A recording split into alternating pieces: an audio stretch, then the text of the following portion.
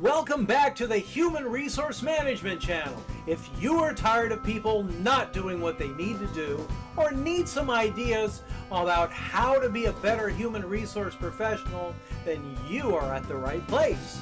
I hope to continue to share my knowledge and experience in helping people grow with their management skills and help make a positive difference in the organizations they work for.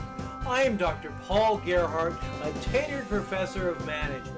With my over 20 years in leadership, consulting, and training, my goal is to help you be the best you can be by sharing leadership, diversity, and human resource management ideas and current trends. So, if you've not yet subscribed to the Human Resource Management channel, do it now.